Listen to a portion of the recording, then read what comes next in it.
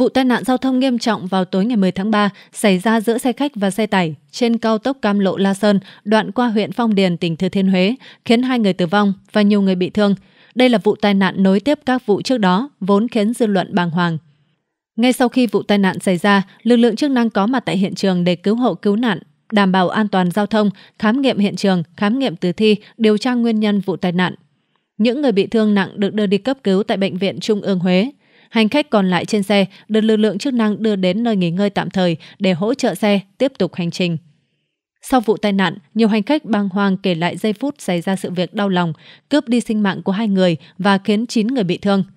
Đa số những người gặp nạn trên đến từ huyện Kỳ Sơn, tỉnh Nghệ An. Họ đều là những lao động nghèo vào các tỉnh Bình Dương, Bình Phước, Con Tum để cạo mù cao su. Hai người tử vong là vợ chồng trẻ CVS 20 tuổi và chị CTP cùng ngụ huyện Kỳ Sơn, tỉnh Nghệ An. Kiểm tra lại hiện trường, lực lượng chức năng càng đau xót hơn khi phát hiện trong hành lý của chị Phong là tờ giấy chứng sinh của con trai, chào đời vào tháng 8 năm 2023. Anh Cú Văn Tuyền, 22 tuổi, ngụ xã Bảo Nam, huyện Kỳ Sơn, Nghệ An kể lại, sau bữa cơm tối tại điểm dừng chân ở Quảng Trị thì chuyến xe tiếp tục hành trình. Khi mọi người thiêu thiêu ngủ thì bỗng nghe tiếng ầm, xe rung chuyển, mọi người cũng hét lên thất thanh.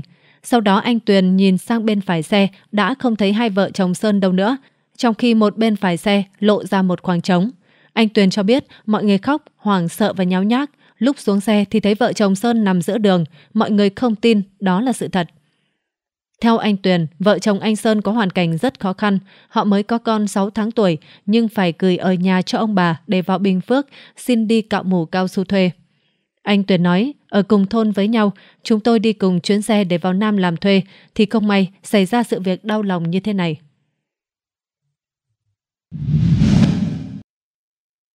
Chuyến xe định mệnh anh HDV 41 tuổi quê Quảng Bình là phụ xe khách 51B26149.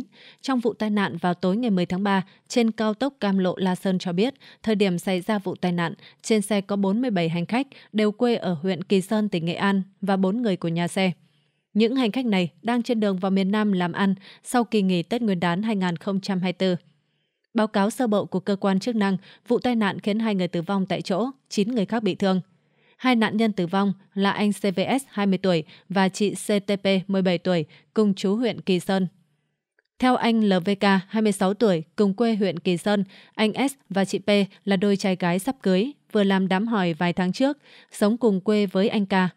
Thời điểm xảy ra tai nạn, cả hai đang trên đường vào Nam để tìm việc làm. Ngoài hai nạn nhân tử vong, vụ tai nạn còn làm 9 người khác cùng ở huyện Kỳ Sơn bị thương đang được chữa trị tại Bệnh viện Trung ương Huế cơ sở 2. Anh LVX, 32 tuổi, chú huyện Kỳ Sơn cho biết, hầu hết hành khách trên xe là người lao động đang trên đường vào các tỉnh phía Nam làm nghề cạo mù cao su thuê. Do hoàn cảnh khó khăn, neo đơn, có một số gia đình mang theo cả con nhỏ đi cùng.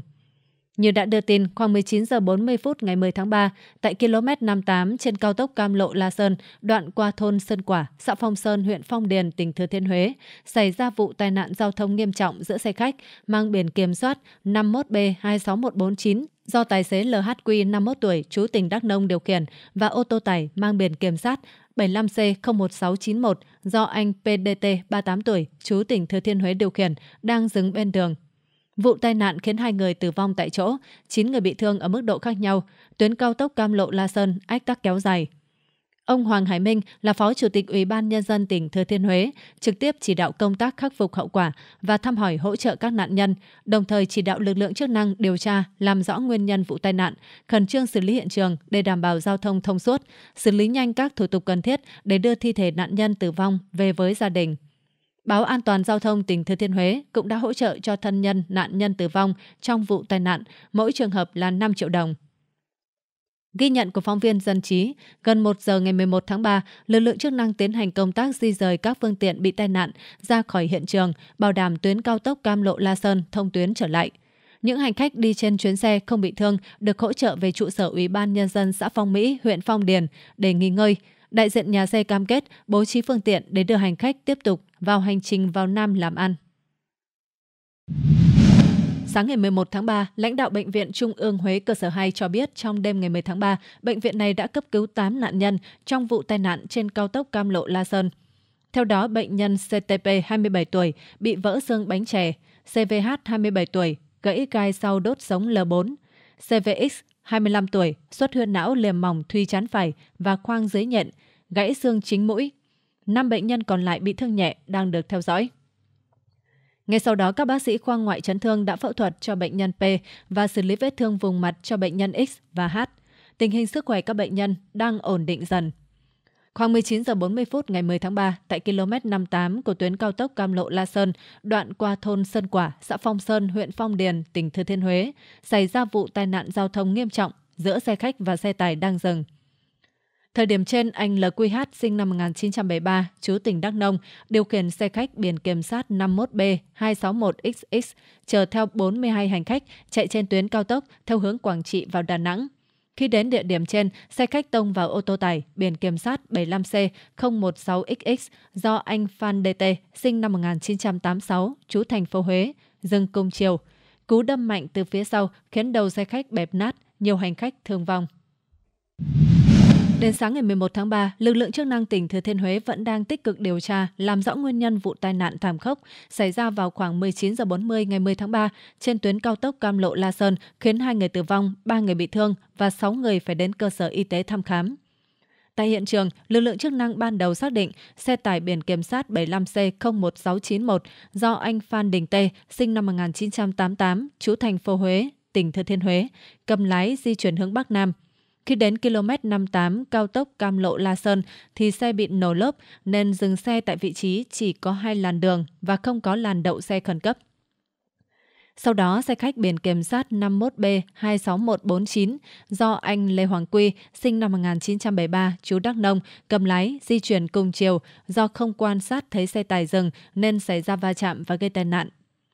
Tài xế xe khách biển kiểm soát 51B26149 cho biết trên xe có khoảng hơn 40 hành khách. Thời điểm xảy ra tai nạn trên cao tốc Cam Lộ La Sơn, trời tối và không có đèn đường. Khi xe đang di chuyển thì bất ngờ phát hiện xe tải dừng trên cao tốc nhưng không có đèn báo khẩn cấp. Anh Lê Hoàng Quy nói do trời tối, xe tải dừng nhưng không bật đèn báo khẩn cấp nên khi gần đến nơi tôi mới phát hiện ra.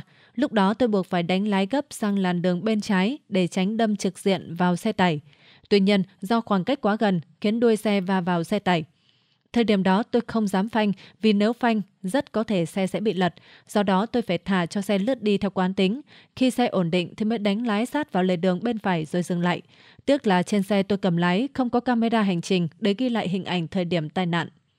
Hiện lực lượng chức năng vẫn đang tiếp tục thu thập thông tin, làm rõ các tình tiết trong vụ tai nạn trước khi đưa ra kết luận chính thức về nguyên nhân vụ tai nạn.